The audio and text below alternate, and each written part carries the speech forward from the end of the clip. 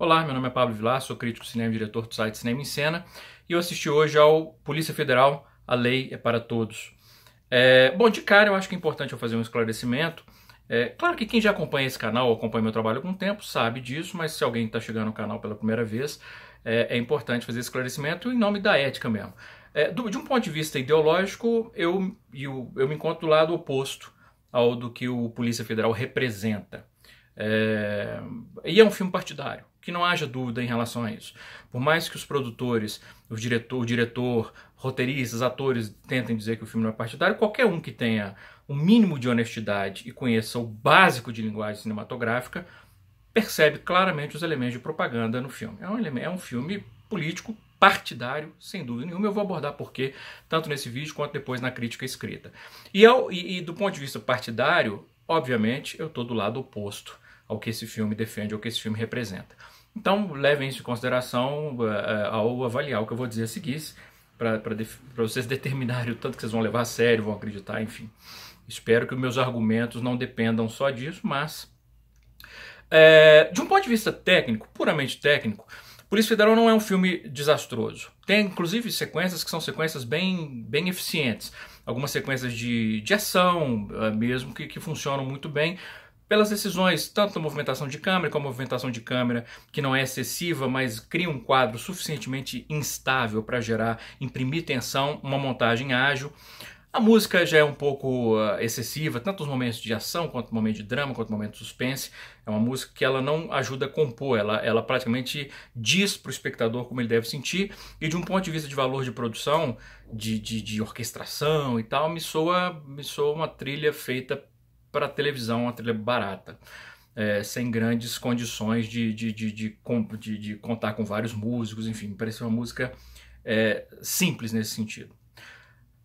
Mas, é, vai lá, ajuda a completar essa sequência de ação.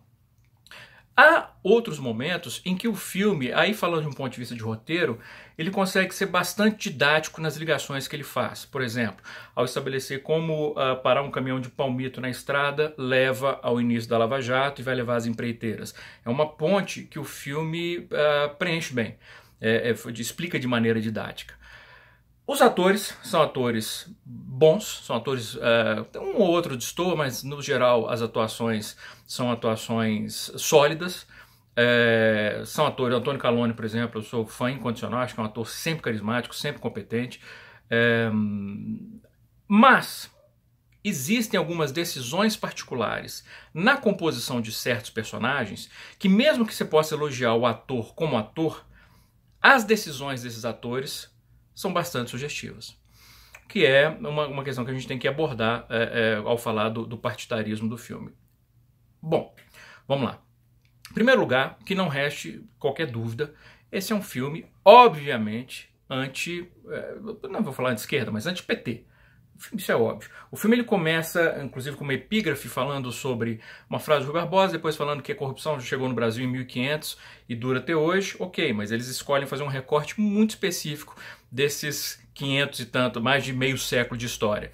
É, que é um, é um recorte, enfim, é, preciso é, mesmo. Até dentro do ponto de vista da, de investigação de corrupção, quando ele faz um apanhado de todas, todas, todas as histórias de corrupção no início do filme, que ele vai citando, simplesmente jogando nomes, é, ele joga os nomes, atravessando vários governos, de maneira rápida, breve, só vai citando os nomes, sem citar partido, sem citar nada, até que ele chega no mensalão e aí ele fala, ah, mal escândalo de corrupção já para e já começa a associar o PT. Então, quer dizer, passa rapidinho pelos outros para chegar ao que interessa. Mas não é só por isso que eu digo que o filme é partidário. Ele vai além. E é por isso que eu acho que, é, que o Polícia Federal é, é um filme que é muito bom para se usar como exemplo de como um filme uh, pode criar propaganda, manipular o espectador de uma maneira sutil. É, e, aliás, o fato de o filme ser tecnicamente tão eficiente o to torna a sua propaganda mais insidiosa ainda. Por exemplo, de um ponto de vista de, de, de roteiro, é, o filme faz essa série de ligações para chegar, por exemplo, do caminhão lá de Palmito até a, a Lava Jato, as empreiteiras.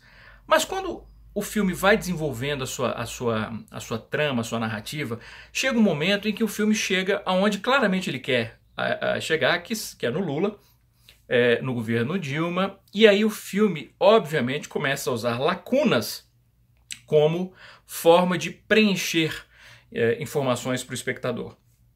Até então, se ele estava sendo didático e mostrando números, mostrando o caminho do dinheiro, etc., chega quando. chega até engraçado.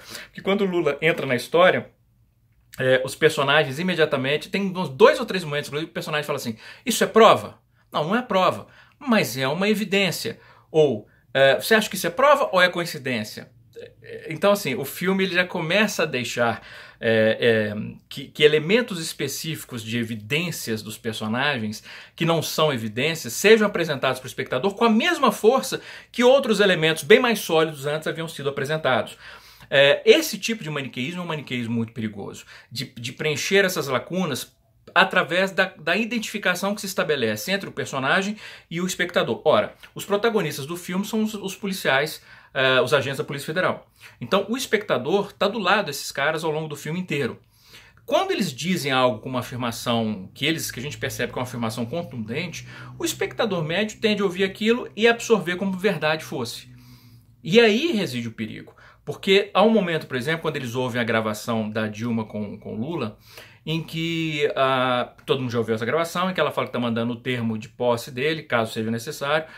E aí, quando corta o personagem, um deles, que é um dos personagens principais, diz: Tá aí a prova, é o que a gente precisava, tá tudo aí. O complô para atrapalhar a Lava Jato, para proteger aquilo e para não sei o que. Tá? Ele faz uma série de ilações que quando você, você acabou de ouvir o áudio, mesmo que você não conhecia, acabou de ouvir, ah, não, não tem nada disso nessa gravação, de onde ele tirou tudo isso? Mas como é um dos protagonistas, a tendência do espectador médio é dizer, ó, oh, é mesmo, sem questionar o valor, porque uma figura de autoridade dentro do filme, nosso ponto de ligação dentro do filme, afirmou aquilo com veemência.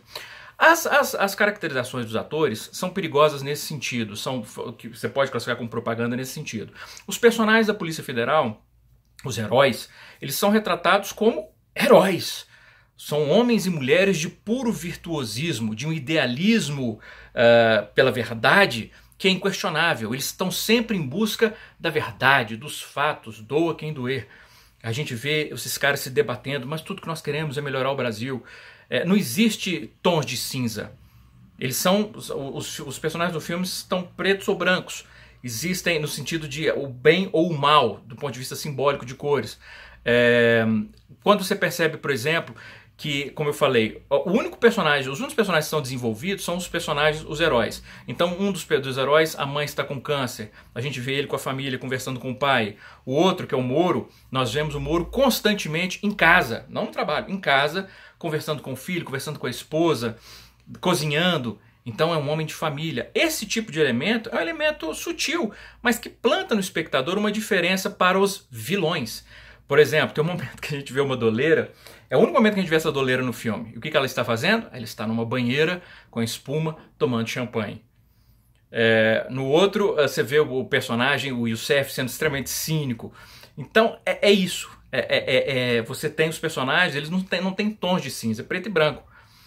E isso é algo que, obviamente, vem com o propósito de levar o espectador para esse ou para aquele lado. O que nos, inclusive, inclusive, nos traz ao personagem do Lula, que é vivido pelo Ari Fontoura que é um negócio assim, as, as, as decisões do Ari Fontoura como ator são muito óbvias. Ele enxerga o personagem como um vilão e ele assim o vive.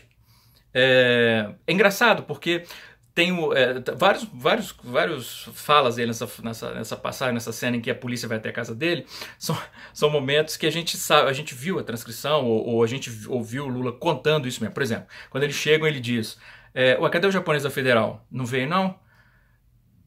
É uma piada que. E aí, você pode simpatizar ou antipatizar com o Lula, mas todo mundo que conhece a figura pública do Lula fala assim: ah, assim é o tipo de piada que ele faria. Mas no filme, o Ari Fontoura não diz isso. Cadê o japonês da federal? Ele não veio, não. Ele diz: Cadê o japonês da federal?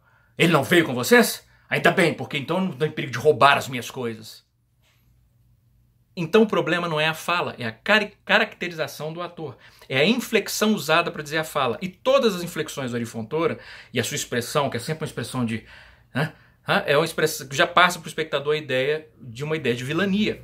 É, quando um personagem diz uma coisa, por exemplo, ah, esse dinheiro, não sei o quê, em vez de, ele nem precisa dizer nada. A, a, o olhar do Arifontoura é de pronto, já sei que ele é suspeito. Então, esse tipo de caracterização, é, o filme é repleto disso. É, de um ponto de vista técnico, às vezes ele falha também.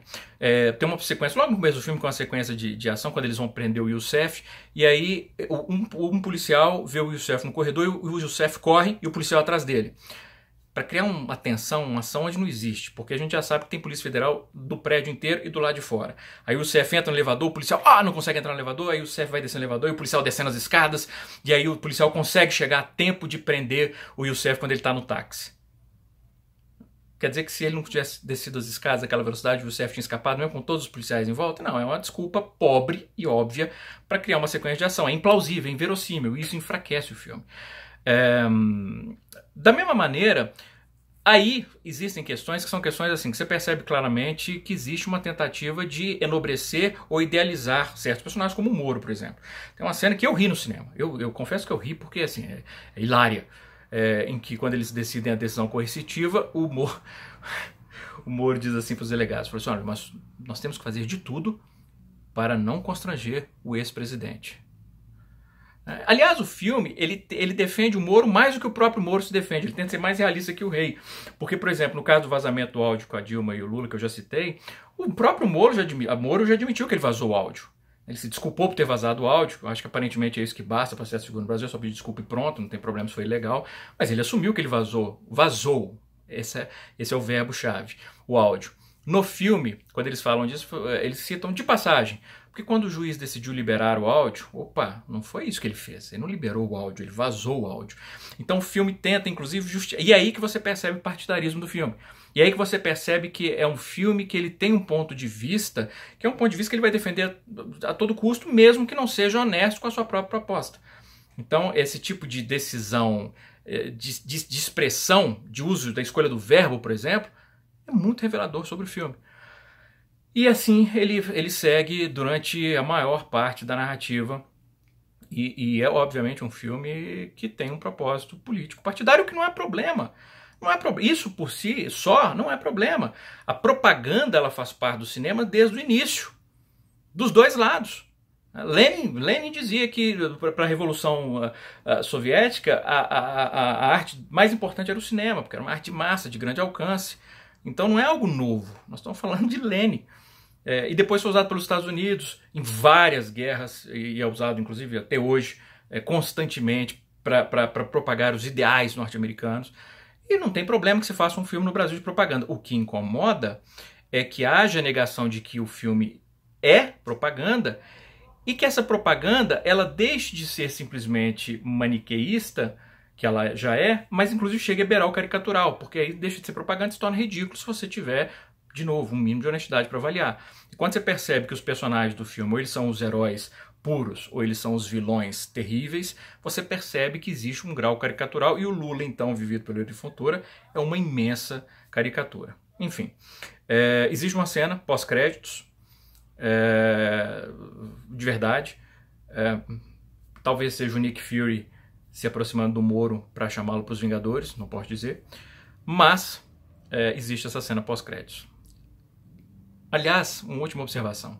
Em vários momentos do filme, vários personagens dizem: Não, nós não estamos ligados a nenhum partido, nosso interesse são os fatos, são a verdade. Conduzam esses fatos onde conduzirem. Várias vezes. E eu acho muito sintomático que o próprio filme sinta a necessidade de, repetidas vezes, dizer que não tem lado. Um grande abraço, bons filmes.